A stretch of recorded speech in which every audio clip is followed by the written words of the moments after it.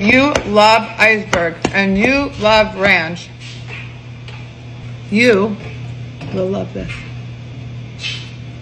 Three cloves garlic, one small salad, the juice of three lemons, one half cup olive oil, one cup fresh spinach, one cup dill, one cup fresh chives, one green onion, one third cup nutritional yeast, one cup raw cashews, and one teaspoon of salt. That, my friend, is the base of a delicious ranch dressing.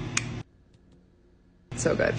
Not to mention the fact that there is so much nutrient dense deliciousness in that dressing that you don't need anything else. So you guessed it, I'm using iceberg as a base because that is freaking delicious. And you could tell me it's not nutrient dense, and I don't even care because the dressing is.